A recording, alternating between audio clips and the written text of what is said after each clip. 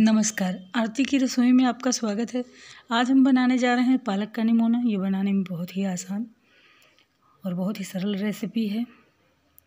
ये हमने ली है पालक धोकर और ये है आलू और ये प्याज, अदरक, लहसुन और हरी मिर्च और टमाटर। अब हम गैस को ऑन करेंगे। गैस गैस पे रखेंगे कढ़ाई और इसमें रख देंगे जो हमने तीन से चार आलू काट के लिए हैं मोटे पीस। और उसके बाद धुले हुए फ्रेश पालक, इसे हम बॉईल कर लेंगे। आलू आपकी पसंद है, आप डालें या ना डालें। पालक और आलू हमारा बॉईल हो चुका है।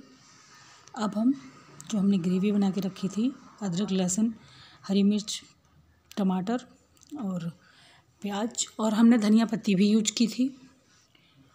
और हमने डाल दिया है सरसों तेल। तेल हमारा गर्म हो चुका है। इसमें हमने तेज़ पत्ता डाल दिया पहले, उसके बाद जीरा जीरा हमारा लाल हो चुका है।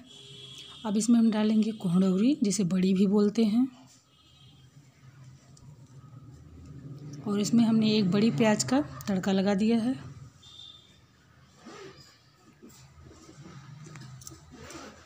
और दूसरी तरफ़ हमने कढ़ाई में जो आलू हमने बॉईल किए थे, वो अच्छे से गोल्डन ब्राउन कर लेंगे।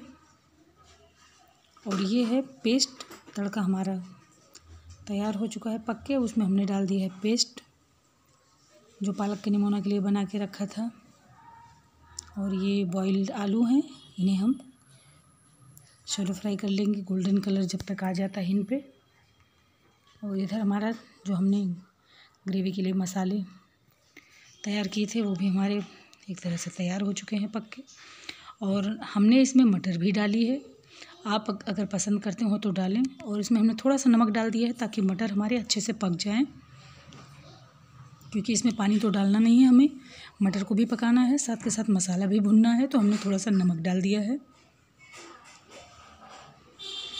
और इसे हम ढक्कन लगाकर थोड़ी देर के लिए छोड़ देंगे। और आप देख सकते हैं मसाले से हमारे तेल बाहर आ गया है। और मटर भी हमारी पक चुकी है। हमने इसे तीन से चार मिनट तक ऐसे ही ढक कर रख दिया था। बड़ी अच्छी खुशबू आ रही मसाले से। और अब हम इसमें सूखे मसाले जैसे कि हल्दी पाउडर, दो चम्मच और धनिया पाउडर भी डालेंगे।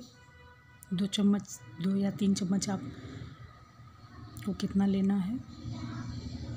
और उसके बाद हमने इसमें डाला है थोड़ा सा गरम मसाला।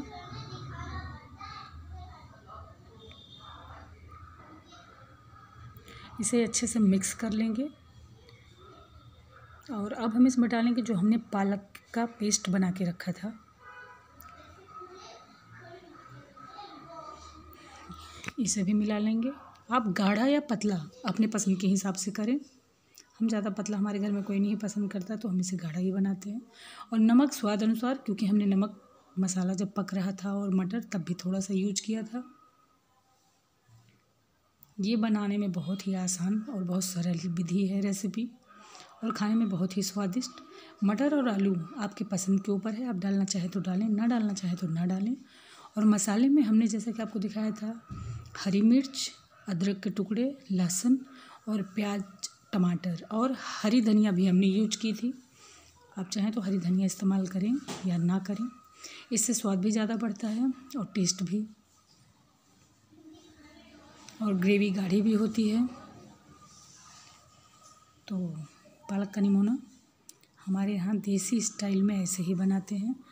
आपको पसंद आए तो आप एक बार ज़रूर बनाएँ और हमारे चैनल को सब्सक्राइब करें। हमारी वीडियो को अगर पसंद आए तो लाइक करें और शेयर करें और हमें कमेंट करें। कि आपको हमारी रेसिपी कैसी लगी, एक बार ज़रूर बना के ट्राई करें। हमारा वीडियो लास्ट तक देखने के लिए आपको बहुत बहुत धन्यवाद।